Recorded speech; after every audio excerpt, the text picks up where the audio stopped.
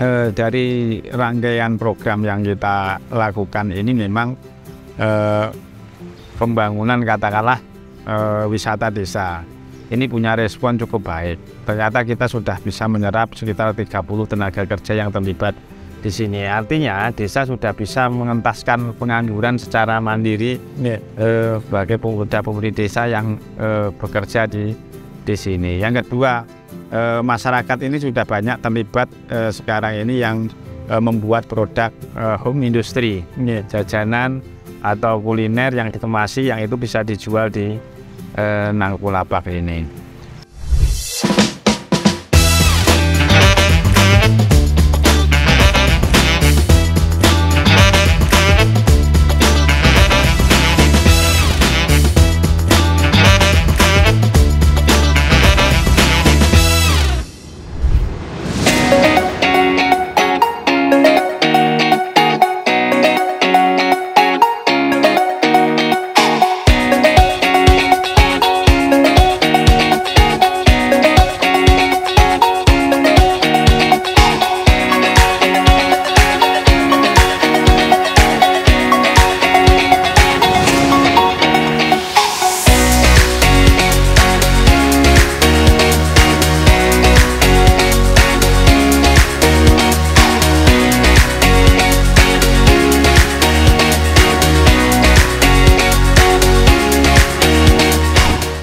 Halo Sobat Ratu, kembali dalam unboxing. Kali ini saya Yanu Aribowo bersama tim Radar Tulungagung tengah berkunjung ke wilayah Tulungagung agak ke selatan, eh, ke wilayah Kecamatan Boyolangu.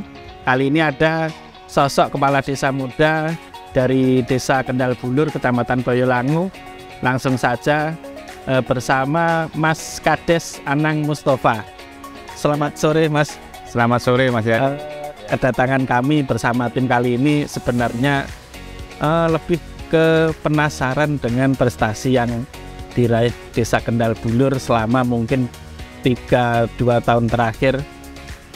Pasalnya eh, kemarin dari apa wawancara teman-teman itu banyak prestasi yang diraih selama tahun 2022 kalau nggak salah itu ada delapan prestasi baik regional maupun nasional. Iya. Salah satu mungkin yang paling menonjol kemarin ada lomba desa tingkat provinsi atau nasional gitu. Iya, tingkat provinsi, setelah itu tingkat regional, nasional. Oke, Mungkin langsung saja ini bincang santai perkenalan dulu nanti kita jagung santai sambil mengulik-ngulik apa apa saja yang ada di Desa Kendal Bulur. Monggo. Iya, eh, terima kasih eh, Mas Yanu dari Ratu pada Tulungagung bahwa eh, Desa Kendal Bulur ini memang secara geografis ini tidak jauh dari perkotaan. Nah, le- letaknya ini sangat strategis, jadi di sini tentunya banyak potensi yang bisa eh, dikembangkan. Nah, dari potensi itu dan dari program atau tugas pemerintahan desa yang terbagi menjadi empat bidang itu di bidang pelayanan pemerintahan, di bidang pembinaan, di bidang eh, pembangunan dan pemberdayaan masyarakat ini yang eh, menjadi tanggung jawab kita pemerintah desa bagaimana eh, APBDes itu mampu mengelola empat bidang itu sehingga pada akhirnya nanti memang benar-benar untuk pemanfaatnya bagi masyarakat desa. Nah itulah yang kemarin eh, goalnya ini di lomba desa ini eh, kemarin kita sudah bisa mencapai di tingkat nasional. Pak, salah satu kemarin eh, dari bocoran yang saya terima Ya, kan hobi jenengan sepak bola. iya, Dulu sebelum jenengan menjabat, Kendal Bulur belum punya lapangan sepak bola permanen. Dan Iya. akhirnya jenengan ketika mulai menjabat, ini mungkin periode kedua sama tamban yang PAW. iya, iya. PAU Oh, sangat- akhirnya sangat bisa mewujudkan lapangan desa yang plus-plus. Karena Iya. sekarang kita ada di Nangkulapak, itu ada lapangan desa yang dikelilingi dengan berbagai fasilitas yang memanjakan masyarakat mungkin nggak hanya desa Kendal Bulur dan sekitarnya. Itu awalnya bagaimana mas? Kok punya ide desa harus punya lapangan sepak bola? Iya.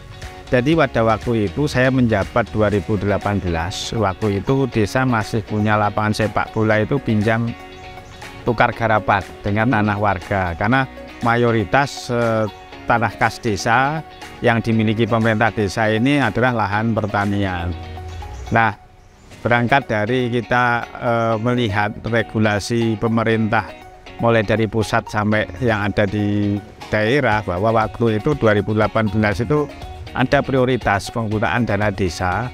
Ini yaitu salah satunya untuk mewujudkan sarana prasarana olahraga yaitu lapangan eh, desa. Bahkan waktu itu Kementerian Desa satu desa satu lapangan olahraga desa.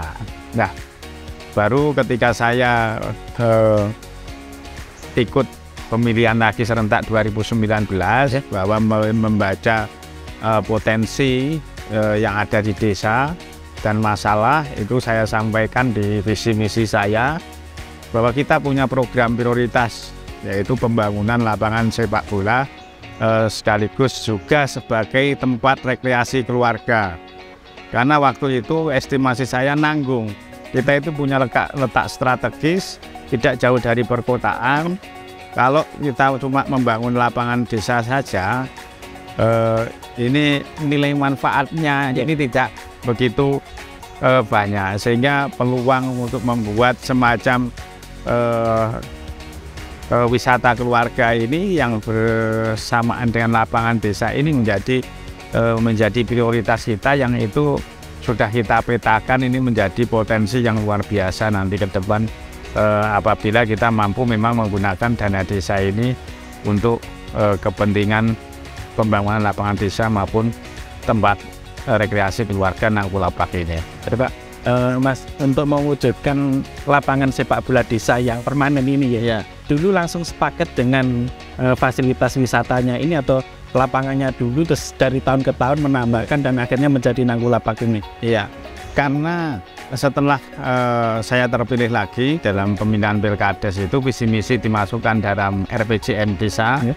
rencana pembangunan jangka menengah uh, desa sehingga dalam RPJM itu sudah kita uh, buat master plan. Karena tidak mungkin kita membangun lapangan sepak bola sekaligus tempat wisata dalam waktu hanya satu tahun dua tahun. Karena ini membutuhkan anggaran yang besar. Karena kita juga tidak mungkin mengorbankan semua dana desa ini kita korbankan untuk uh, di sini karena masih ada kegiatan uh, lainnya yang itu perlu kita petakan sehingga uh, untuk kegiatan pembangunan lapangan dan wisata desa ini dilakukan secara bertahap. Jadi kita mulai sejak tahun 2019 uh, akhir sampai uh, hari ini terus secara bertahap sesuai dengan master plan yang sudah. Ini berarti belum selesai. Belum belum. Target uh, maksimal sesuai rencana awal?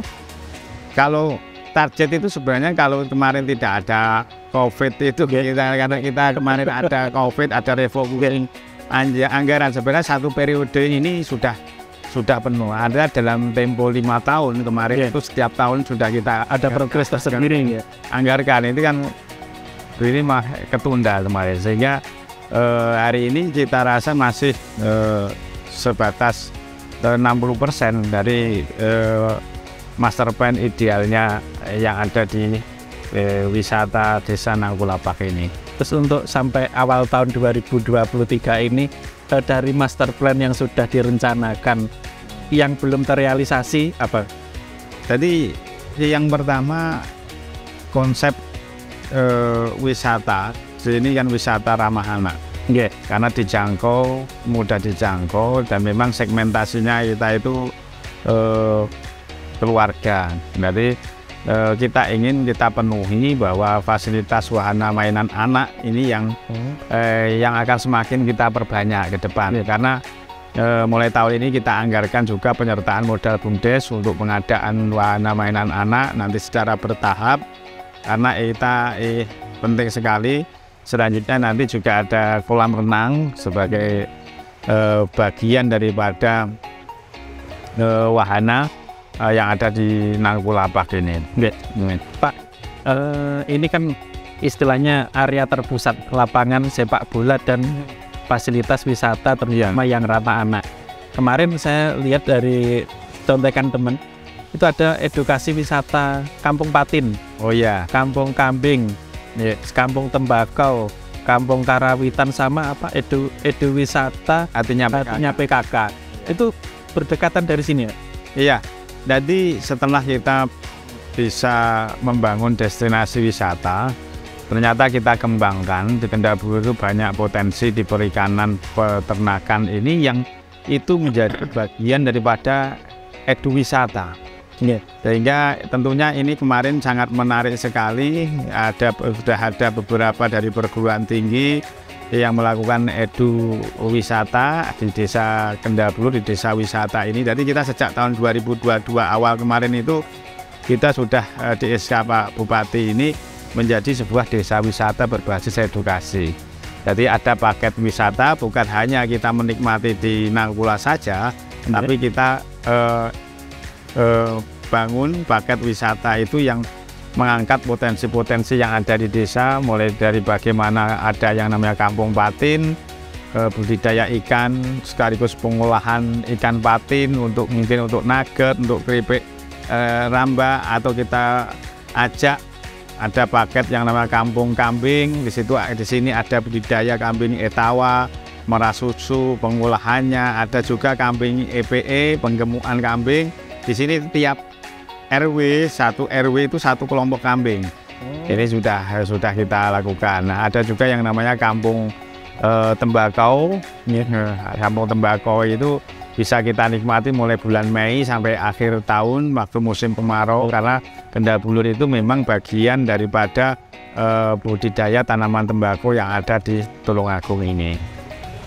Jadi ada lagi yang terakhir kemarin dari KWT kelompok wanita tani eh, mengembang- mengembangkan rumah eh, pekarangan yang dinamakan hatinya PKK itu sebagai pusat eh, edukasi tanaman toga, budidaya sayuran, hidroponik maupun aquaponik yang ada di lingkungan rumah ini.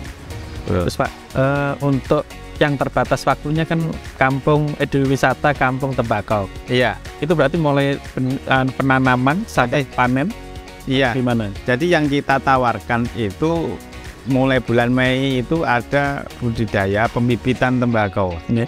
Jadi pembenihan membi- eh, pembenihan tembakau itu eh, bibit tembakau itu ini, di- ada di situ satu RT itu punya usaha semua dari pembibitan tembakau itu sehingga memang banyak eh, dari luar kota itu yang ambil bibit tembakau vari- varietas gagang siji dan recep ini yang berasal dari Kendabulur ini bibitnya. Berarti eh, dari Kendal Bulur sendiri punya varietas unggul tersendiri kan? Ya itu yang memang varietas asli dari Tulungagung itu namanya recep gagang siti itu. Kalau nanti akhir tahun sekitar bulan nanti Oktober November itu nanti bisa kita kenalkan pengolahannya pasca panen. Jadi tembakau itu setelah dipetik dibawa pulang eh, nanti pengolahannya dirajang sampai di eh, dengan beberapa tenaga kerja itu bisa kita kenalkan pengolahan tembakonya. Terus eh, gini, dari beberapa paket edu wisata Kampung Kambing, Kampung Patin, Kamu tembakau, Kampung Tembakau, Karawitan, karawitan ya terus artinya artinya PKK. PKK. Ya. Eh, itu yang menjadi salah satu eh, beberapa ikon yang ada di Desa Kendal Bulur. Terus selain paket edu wisata, mungkin ada agenda tahunan kayak festival apa gitu, ada nggak? Ya, Kendabulur ini eh, sudah kita mulai untuk yang namanya Kendabulur Culture Heritage itu. Jadi festival tahunan, jadi pekan budaya. Eh, di situ ada pameran UMKM, di situ ada pentas seni dari potensi eh, kebudayaan yang ada di desa. Di situ ada kirap se- sedekah bumi atau kirap tumpeng dan hasil-hasil bumi yang ada eh, di desa. Ini biasanya eh, kita lakukan di bulan Muharram sekaligus dengan biasanya kegiatan bersih bersih desa itu yang menjadi agenda festival tahunan kita di Kendal Bulur. Itu apa Kendal Bulur Heritage tadi dipusatkan di sini ya? Iya, Kendal Bulur Culture Heritage itu kita pusatkan memang di wisata Nanggulapak ini. Berarti itu pesertanya khusus warga desa Kendal Bulur dan potensi-potensi Iya. yang dimiliki itu, Ge. Iya, potensi-potensi apa yang dimiliki, terus eh, ada juga nanti kelompok UMKM eh, yang kita gandeng yang bisa masuk eh, di sini untuk mendukung meriahnya agenda Kendabulu Culture Heritage ini. Itu ada pawainya keliling desa atau gimana? Iya, pawainya itu eh, jalan di jalur utama desa. Berarti jalur utama utamanya ini, Pak, Ge? Iya. Dari Iya. arah ke selatan, Iya, muter desa gitu, ya. iya, Itu eh, selama ini kan jenengan sudah masuk di periode kedua meskipun yang pertama tidak penuh. iya, itu respon masyarakat dengan perkembangan dari awalnya belum ada lapangan, belum ada edu wisata yang kita sebutkan tadi, terus sampai ada pawai kirab budaya itu respon, mara- eh, apa respon masyarakat itu bagaimana? Jadi begini, eh, dari rangkaian program yang kita lakukan ini memang eh, pembangunan katakanlah eh, wisata desa ini punya respon cukup baik. Ternyata kita sudah bisa menyerap sekitar 30 tenaga kerja yang terlibat di sini. Artinya desa sudah bisa mengentaskan pengangguran secara mandiri Ya. eh, sebagai pemuda-pemudi desa yang eh, bekerja di di sini. Yang kedua, eh, masyarakat ini sudah banyak terlibat eh, sekarang ini yang eh, membuat produk eh, home industry, Ya. jajanan atau kuliner yang dikemasi yang itu bisa dijual di eh, Nangkulapak ini. Nah, untuk fasilitas sarana olahraga ini tentunya sangat mendukung sekali sebagai sarana olahraga masyarakat. Selain lapangan sepak bola ini ada juga lintasan jogging track ini. Dan lintasan jogging track ini digunakan masyarakat untuk jogging maupun treadmill. Kalau pagi itu ramai masyarakat. Soalnya kalau hari ini eh, kita mau treadmill jogging di pinggir jalan raya pasti banyak kesenggol motor. Iya. Berarti terkait dengan fasilitas yang dimiliki Nanggulapak ini eh, sudah memberikan eh, banyak manfaat untuk masyarakat. Iya. Mungkin tadi eh, sebutkan hobi jenengan sepak bola. Iya. sekarang sudah punya lapangan sepak bola permanen. Terus yang memanfaatkan ada nggak? Pak? Yang rutin di sini Iya. SSB atau Kita apa? punya SSB namanya Kaisar. Jadi kita eh, bentuk sejak tahun 2003. Eh, sejak, sejak tahun 2003 itu kita bentuk yang namanya SSB Kaisar ya untuk menampung anak-anak eh, desa ini biar tersalurkan yang punya bakat, potensi sebagai hobi untuk kegiatan positif nanti di desa. Berarti lapangan juga tidak mubatir akhirnya. Iya. eh, Seminggu tiga kali. Hari apa Pak itu? Eh, hari Se- eh, Senin, Rabu, dan Jumat Dari kelompok umur mungkin? dari kelompok umur usia yang paling banyak anak SD sama SMP. Bagian dari hobi jenengan, terus mewujudkan sepak apa lapangan sepak bola desa akhirnya Ya, SSB yang sebelumnya tidak mempunyai lapangan yang permanen Iya. miliknya desa akhirnya bisa memanfaatkan eh, di lapangan yang ada di desa Kendal Bulur. Pak, Iya. dari sekian banyak prestasi yang mungkin katakanlah yang tahun terakhir tahun 2022 kalau saya baca sekilas tadi ada delapan prestasi. Delapan ya. Itu yang paling tinggi apa? Jadi yang paling tinggi itu ya ketika lomba desa kemarin di tingkat eh, nasional itu kemarin. Jadi kenapa saya anggap itu sebuah prestasi yang membanggakan? Karena lomba desa ini bukan dinilai dari sejauh mana kinerja kepala desa, tapi juga dinilai dari empat bidang itu: pemerintahan, pembangunan, pembinaan, dan pemberdayaan masyarakat. Iya. Jadi ketika lomba desa itu yang dinilai bukan pelayanan pemerintahan, tapi juga lembaga desa dan lembaga kemasyarakatan desa lainnya seperti kelompok tani, kelompok peternakan, kelompok perikanan, sejauh mana eh, peran pemerintah desa dalam mendampingi dan memberdayakan itu. Ini kelompoknya produktif atau tidak, ini sudah bekerja sama dengan pihak eh, swasta atau pengembang atau belum dan lain sebagainya.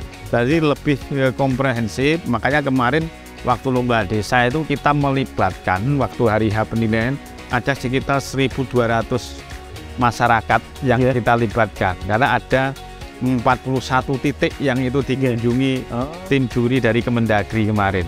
Gitu. dari beberapa potensi yang dimiliki yang akhirnya dikemas menjadi bentuk eduwisata kayak patin, ini terus kayak ada mina padi, ada Iya. tembakau itu eh, yang paling tinggi hasilnya istilahnya sesuai dengan master plan yang sudah jenengan rencanakan sejak awal menjabat terus akhirnya sudah sesuai harapan atau malah melampaui itu yang yang mana? Jadi begini, kalau produktivitas perolehan masyarakat itu yang jelas ya di bidang tembakau. tembakau Tembakau, patin ini tinggi. Tapi kalau hari ini berbicara eduwisata, Nggih. eh, kalau khusus anak-anak SD ini tertarik di Minapadi. Di sini kita kenalkan eh, ini budidaya mancing, kita kenalkan tanam padi. Ah, yang kedua di kampung kambing. Eh, kampung kambing kalau anak-anak SD itu suka eh, meras susu kambing itu menikmati eh, juga olahan susu kambing etawa. Ini anak-anak ini tertarik. langsung Ya. Kalau nanti segmentasinya mahasiswa, eh, mahasiswa lebih banyak eh, eh, suka eh, di budidaya ikan patin. Jadi kampung patin ini, karena di kampung patin itu selain pengenalan budidaya ikan juga pengolahan. Nanti berkaitan dengan kelompok UMKM. Oh, Jadi hasil olahan itu dibuat untuk nugget, keripik patin, rambak patin. Nah itu nanti keterkaitan dengan eh, UMKM yang ada. Bagaimana packingnya, brandingnya ini yang eh, banyak eh, segmentasinya mahasiswa. Itu berarti eh, selama ini ada pendampingan dari kampus tertentu ya Pak? Selama ini, alhamdulillah, eh, ketika kita eh, sejak tahun 2020 itu kita sering dapat pendampingan. Jadi hari ini banyak perguruan tinggi ini yang menawarkan melakukan pendampingan di desa Kendabulur. Tinggal Kendabulur ini kita pemerintah desa menyiapkan ini mau kelompok mana yang didampingi. Karena kemarin ada kelompok eh, UMKM eh, packing produk. Jadi diajari bagaimana eh, membuat eh, packing produk yang menarik, digital marketing yang bagus, mungkin perizinannya PIRT, ada juga yang mendampingi di sektor eh, perikanan. Nah, perikanan itu bagaimana eh, terkait budidaya ikan patin itu agar lebih efisien, eh, pakan sentratnya dan lain sebagainya. Wah, ini berarti kan dari satu periode plus yang satu tahun berapa? Bulan tiga bulan empat bulan tadi. ya. banyak progres prestasi dari awalnya yang belum ada menjadi ada. Contoh mungkin sang lapangan sepak bola dan eh, fasilitas wisata yang mengelilinginya. Mungkin saya yakin eh, masyarakat Kendal Bunur menginginkan jenengan naik kelas sebentar lagi kan pilkada 2024 ada nggak? Eh, kalau masyarakat ngersakin jenengan naik mungkin lagi satu lagi dua pribon? Enggak, kita eh, saya itu tetap masih pengen istiqomah. Ini artinya satu periode ini juga belum rampung. Saya ingin memang benar-benar program pemerintah desa yang ada di desa ini bisa dinikmati, eh, bisa mensejahterakan masyarakat eh, desa. Ini ini masih tahap, masih proses berjalan. Kendal Bulur itu belum sempurna, tapi masih banyak PR yang harus eh, kita kerjakan itu. Eh, berarti masih ada periode ketiga untuk menyempurnakan program-program Ya, tentunya nanti kan semakin banyak uh, program pemerintah pusat karena kita ini Indonesia ini kan ada uh, Indonesia Emas tahun 2045. Ya. Nah, desa itu juga harus nanti endingnya ke arah situ sehingga nanti bisa maju pasti nanti Indonesia juga akan maju. Iya. Terima kasih Mas Anang mungkin eh, apa waktu yang telah diberikan menerima tim dari Radar Tulungagung kesempatan berbincang santai dalam unboxing kali ini mungkin kita akhiri bincang santai ini terima kasih Iya, Mas Ed. Ya. terima kasih sama-sama terima kasih Sobat Ratu. Eh, bincang santai dengan Mas Kades Anang Mustafa dari Desa Kendal Bulur Kecamatan Boyolangu kita akhiri. Sampai jumpa dalam unboxing selanjutnya. Terima kasih